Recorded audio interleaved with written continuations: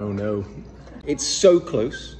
Something that a lot of people don't know about Texas is that it has a very large and vibrant wine country. Yes, Texas is a wine producer, but the question is, how good is Texas wine? So today I'm going to investigate that because I'm heading down to the home of wine in Waco, Texas, Segovia Wine Bar, where we're going to do a blind testing as we pit Texas against the wine powerhouse, Spain. I'm not doing this alone though, because while I like wine, we need an expert. And this is Courtney, the co-owner and sommelier of Segovia Wine Bar, and she selected some wines to make this interesting. So when it comes to our wine tastings, like our Versus series that we're gonna have on March 28th, we like to start with our lightest wines and then we move to our fuller bodied wines. I think I'm gonna start with the full, okay, I'll wait. is this really a fair fight? I certainly think it's a fair fight, just dependent upon the wines that we chose. They're both Tempranillos. They're both grown in similar elevations and similar soils. So there's a decently fair chance between the two of them. But it's also dependent upon what you like. So we'll see.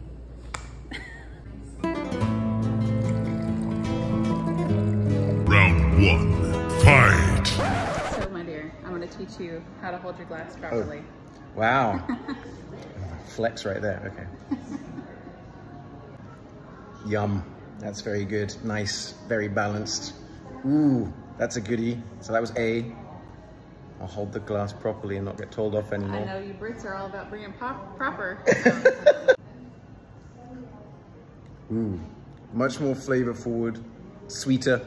I'm willing to, okay, I can even bet. Okay, I'm gonna say the one that I liked the best was A, but I'm gonna bet that A was Spain, B was Texas. Correct. Yeah, there we go. Bing!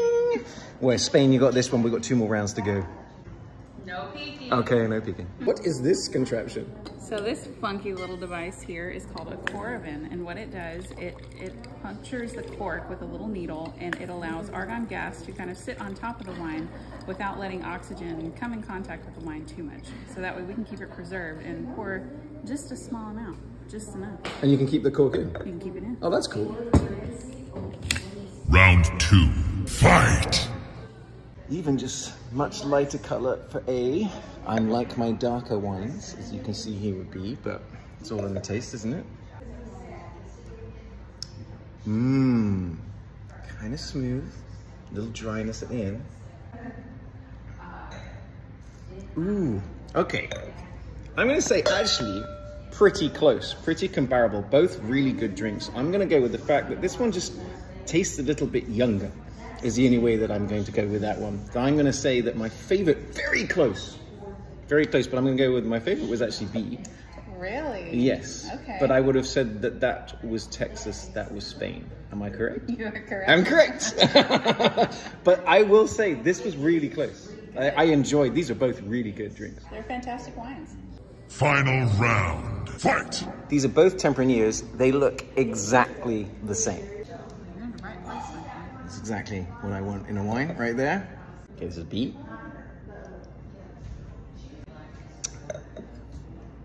Oh no. It's so close, like razor thin, basically the same, but I'm gonna say the one that I just ever so slightly, I found just that tiny bit more drinkable was A. But I'm gonna say that Spain was B. Wrong. Wait, so wait, Spain was A? Spain was A. This is Texas. Okay, really? Okay. that's Well, it's technically 3 0 to Spain, but especially in round three, that and that are very, very similar. What's the price difference? Like About a ten dollar difference. $10 difference. All right.